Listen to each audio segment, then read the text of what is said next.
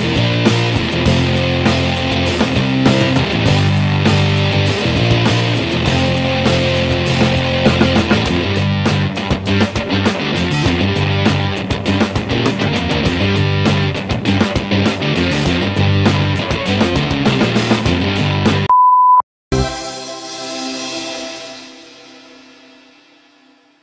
Catch Corner, ça prend place sur le salon Paris Manga et Sci-Fi Show.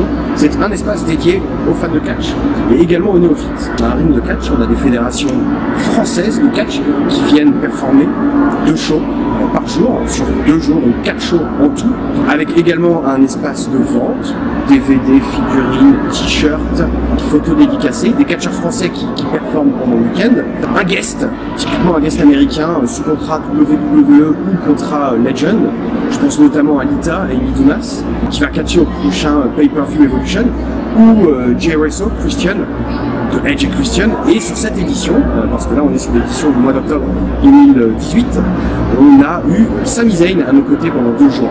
Pour des conférences publiques, pour des meet and greet, pour des dédicaces, pour euh, un espace rencontre. Le Catch Corner, c'est un univers et un thème en plus sur le salon Paris Manga et Sci-Fi Show. On en est de mémoire à la 7 ou 8e édition. C'est un, concept qui continue à vivre, qui continue à évoluer au gré, euh, au gré des éditions. Donc là, on avait, c'est important de le signaler, on avait un main event qui était totalement exclusif dans le catch français, avec trois noms qui, si vous êtes fan de catch en général, qui vont forcément vous parler, Senza Tom Larufa et Tristan Archer pour un combat triple menace.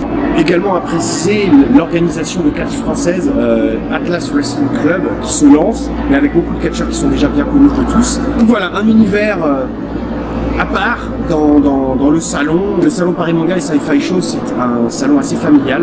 On a des familles qui viennent, c'est bon enfant, les catcheurs viennent, prennent des photos. Pour le résumer, c'est ça le catch corner du salon Paris Manga.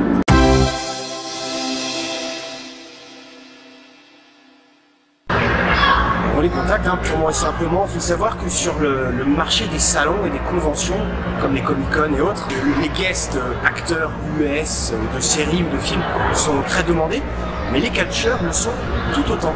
Donc on sait que des Daniel Bryan et des Kane ont pu être vus sur des salons au Pays de Galles. Les catcheurs sont très demandés, il y a pour certains des agents, et pour d'autres des contrats directs avec la WWE. Bref, je ne vais pas trop en dire là-dessus, c'est un peu l'envers du décor, mais voilà. On les contacte tels que des superstars de la, de la télé, hein, qui sont des acteurs de ciné ou des acteurs de série.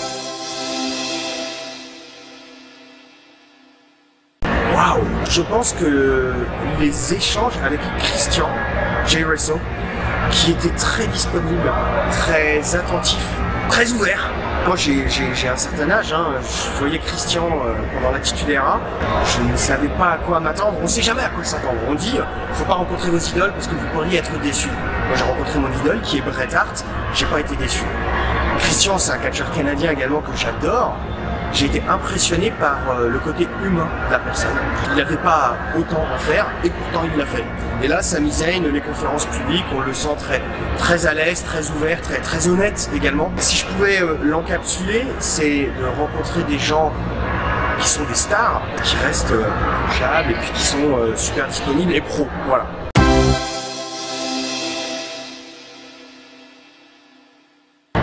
La question, pas mal de temps. C'est la partie euh, visible de l'iceberg que les gens peuvent voir sur un catch corner. Il y a beaucoup de préparation en amont.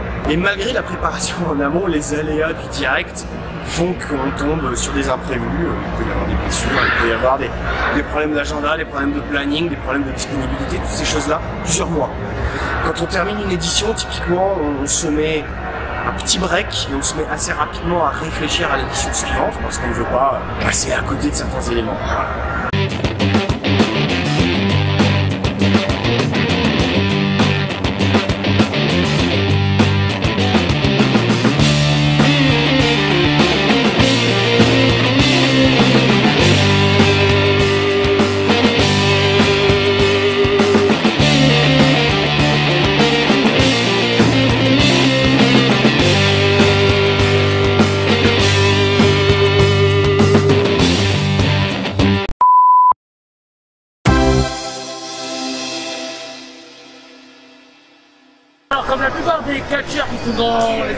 Dans le high flying, euh, ça va être très mystérieux. C'est euh, une icône en fait au Mexique, on l'appelle le, roi. C'est qui a développé, euh, on va dire, cette discipline dans le monde entier. Alors en première partie, quand j'étais fan, c'était lui. Et ensuite, voilà, je me suis un petit peu plus rapproché de la scène indépendante. où il y a un catcher qui s'appelle Ricochet. On a mélangé en fait le high flying et le côté super indie du catch américain et ça fait un, cocktail explosif, je pourrais dire. Beaucoup de catcheurs, bah après j'ai regardé euh, un peu comme tout le monde à la télé au début.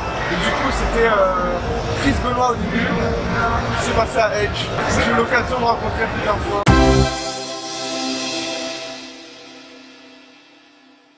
Pas si j'ai une bonne réponse à ça, voilà, comme je l'ai dit, j'ai été fan. Je pense comme tous les catcheurs d'aujourd'hui, ils ont été fans. À un moment donné, tu veux simplement essayer, donc j'étais inscrit dans une école. Et moi j'ai été très chanceux, au bout de 6 mois j'ai eu l'occasion de faire mon premier match. Et en fait il y a tout qui s'est enchaîné très très vite. J'ai tourné beaucoup de France très rapidement. Maintenant j'ai la chance de catcher tous les week-ends à travers l'Europe. Ah, j'en sais rien. Juste, euh, non, vraiment. Vraiment, j'en sais strictement rien. J'ai juste tout de suite accroché quand j'ai vu à la télévision. J'étais petit, hein. Et euh, à mes 14 ans, dès que j'ai eu l'âge de pouvoir commencer, là, j'ai commencé.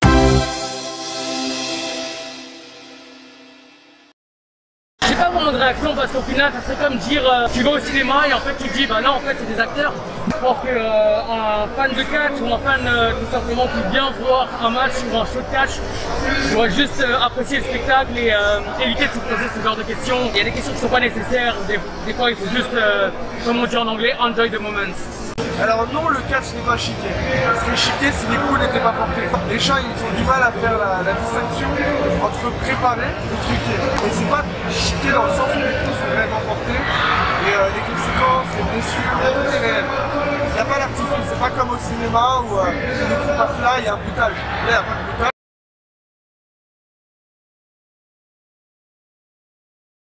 il y a quelques années, euh, la situation du catch français n'était pas vraiment au top. Je pense qu'on peut noter quand même une bonne progression sur les 12 derniers mois, on va dire.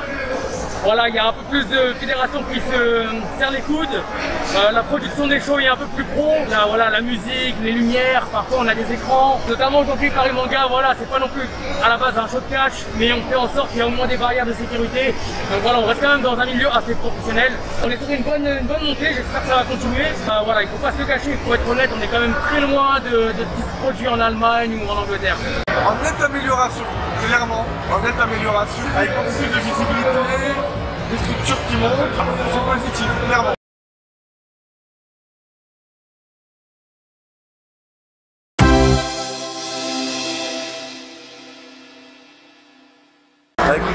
Été le plus mauvais arbitre de France, j'ai été élu meilleur arbitre de France. Donc quoi qu'il arrive, bah je suis content.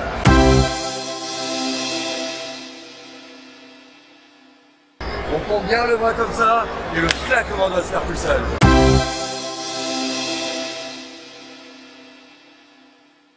C'est arrivé tout seul en fait, je cours les marathons. Je prépare pour euh, janvier mon 20e marathon. J'ai pas envie qu'une blessure de cage m'empêche de courir, donc je vais tourner vers l'arbitrage. Et euh, comme je vois pas les erreurs, comme ça je me fais insulter quoi qu'il arrive. Mais ça fait réagir ce qui est le plus important.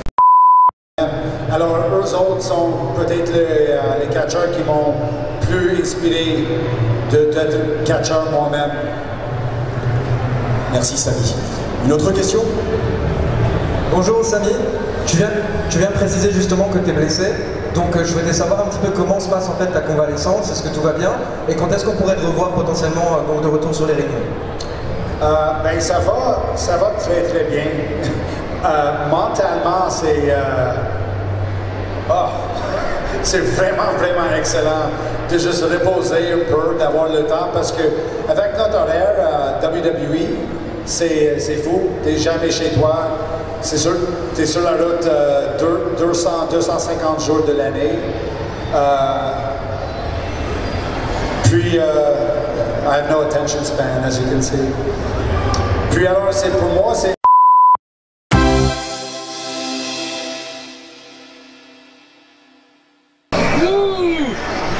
là où on peut être honnête, c'est que Tristan il est très très vieux. Il est plus vieux que moi en tout cas. Mais bon, j'aime bien le taquiner, j'aime bien le faire. C'est une bonne ambiance. On sait très bien qu'il fait partie du club catcher. Moi je suis là depuis 4 ans j'aime bien sortir de, de ma place et aller un peu titiller ceux d'en haut. C'est juste moi qui suis un petit con et euh, voilà. Mais euh, ça va changer, c'est moi qui va être